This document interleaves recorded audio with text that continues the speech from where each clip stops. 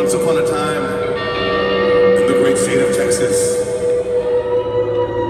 in this leafy town of Amarillo,